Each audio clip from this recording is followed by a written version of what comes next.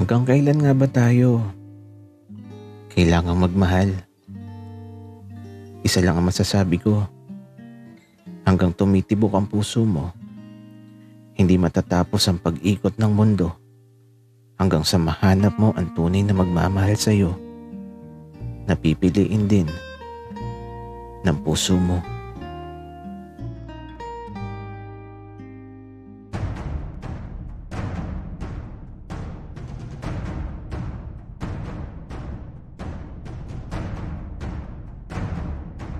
Kaibigan, huwag mong kalimutan mag-subscribe sa aming channel at huwag din kalimutan i-click ang notification bell at subscribe button. Subscribe na!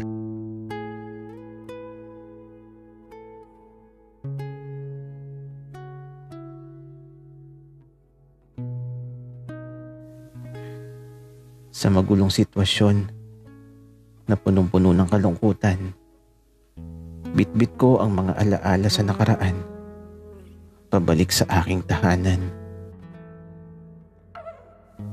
Ang laro ang kabayo na ukit sa kahoy at ang dalawang bata na magkahawa kamay. Alaala ng masasayang nakaraan sa balit kalungkutan ng hatid sa sitwasyong di ko na lubos maunawaan. Saan ka nagtungo isagani? Saan ba kita hanapin? Ang hirap ng ganito. Umalis ka na lang bigla.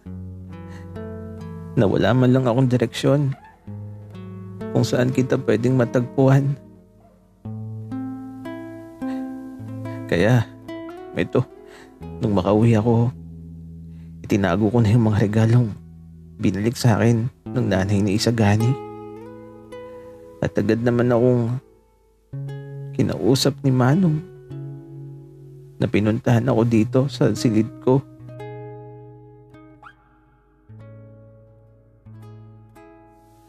Damian.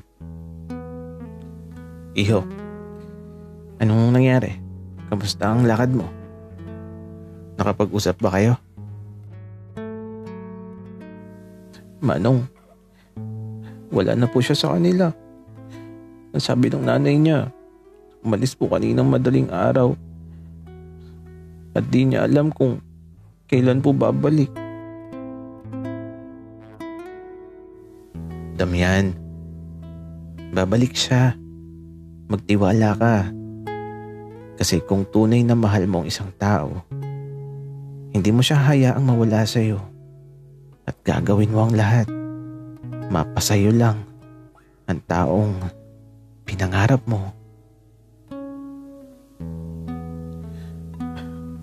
Manong, siguro para sa inyo, madaling sabihin yan. Kasi wala kayo sa sitwasyon ko at hindi nyo alam yung nararamdaman ko. Damian, nagkakamali ka sa sinasabi mo. Kasi kung alam mo lang ang nakaraan ko at mga pinagdaanan ko, baka di mo kayanin ang mga bagyong dumating sa buhay ko. Alam mo kasi, Damian, sa napakatagal na panahong nakalipas, ang sakit isipin na kahit abot mo na yung mga pangarap mo, di mo magawang mahawakan ito. Kasi may kulang sa nakaraan na di ko malaman kung saan ko matatagpuan. Manong, okay ka lang ba? Anong ibig mo sabihin?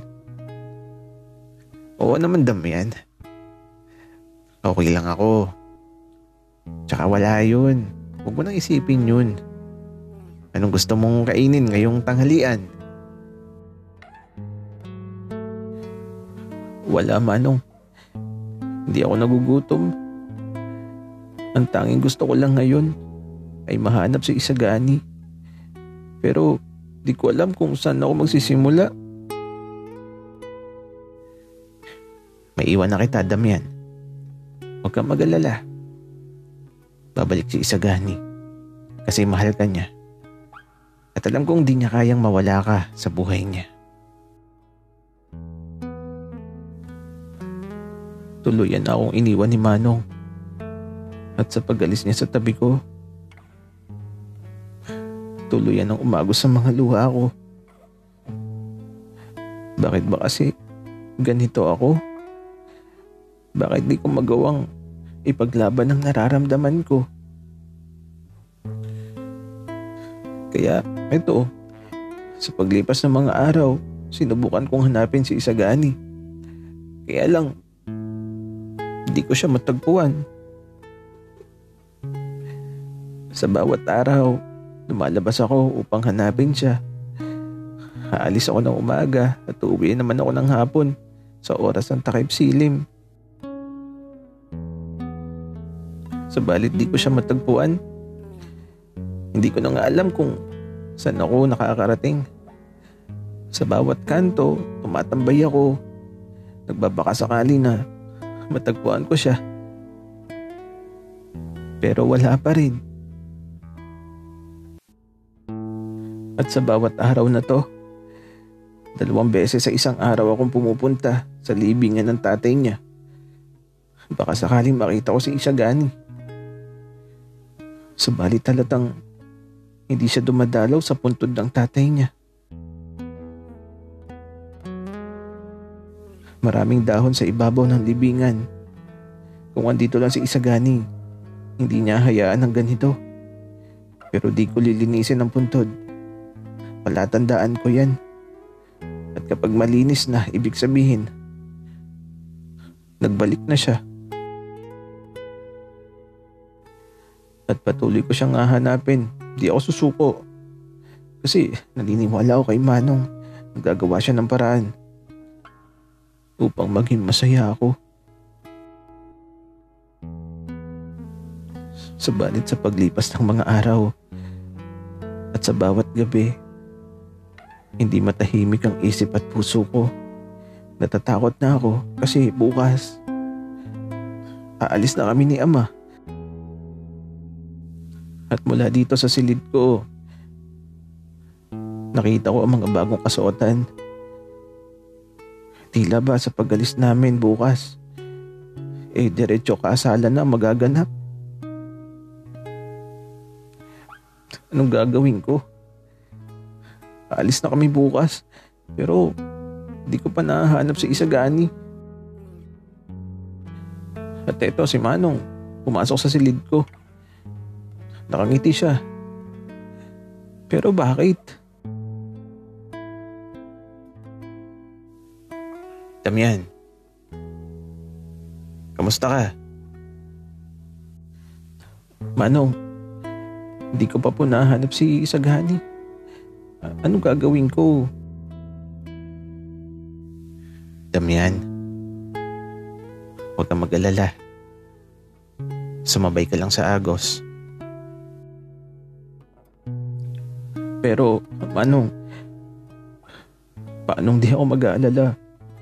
Bukas ikakasal na ata ako. Paano na si Isagani?